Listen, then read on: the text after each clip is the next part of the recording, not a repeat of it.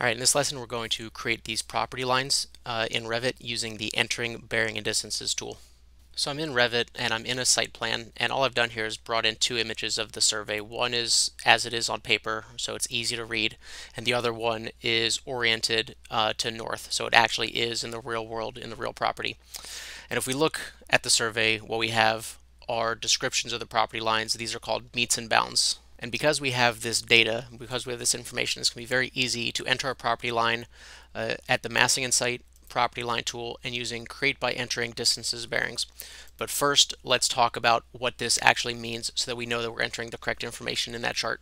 So this text at each property line that looks kind of like coordinates, these are the surveyor's descriptions of the shape of the property and they describe it by the orientation and length of all the different property lines. So if we start with this line right here, what it's saying is that you've got a line that starts out heading directly north, you rotate it 61 degrees, 51 minutes, 0 seconds to the west, and that line is 57.82 feet long. So if I actually draw this out with a detail line, I'll draw a line that's heading straight north, and I'll make it 57.82 feet long, and then I'll rotate it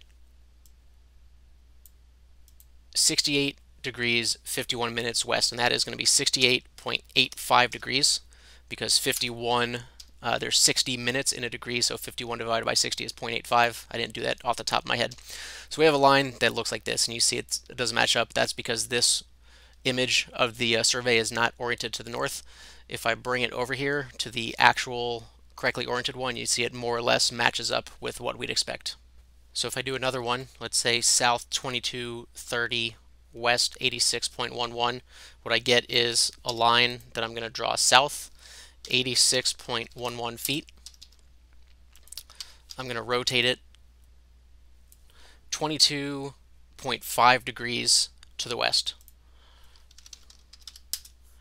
So it'll look like that.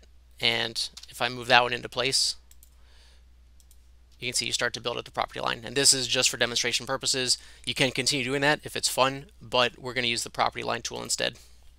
So back in our property line tool, we're just going to pick one line and just go around in order.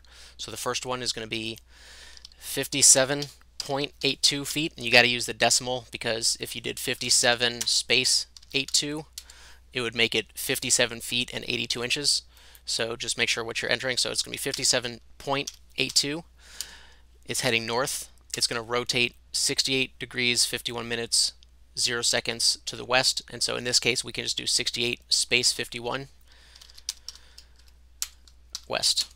And then just continue around. So insert a new line. This one will be uh, north 2230, 87.47. So the distance is 87.47.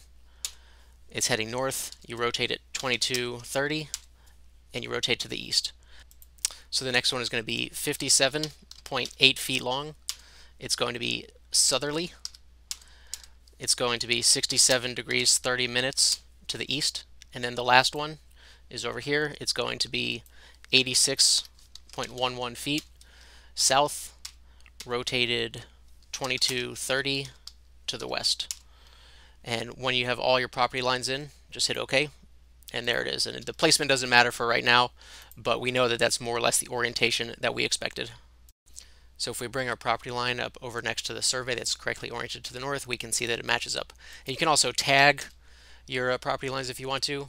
That tag is located, uh, if you load a family, you've got to go to your Imperial or Metric Library, Annotations, Civil, and choose the property line tag. And a quick note, it will only work if your project base point and survey point are, uh, are showing. If it's hidden, if these are hidden, the tag won't work. If you found this video helpful, please visit hyperfinearchitecture.com slash Revit to learn more about the professional courses I offer. I teach about how to use Revit for residential architecture projects. I've got one pro course that's about new construction, basically everything you need to do to model and document this house from the ground up. And this property line video is the first in a new series I'm doing about uh, existing conditions, alterations, additions, and those type of issues. Thank you.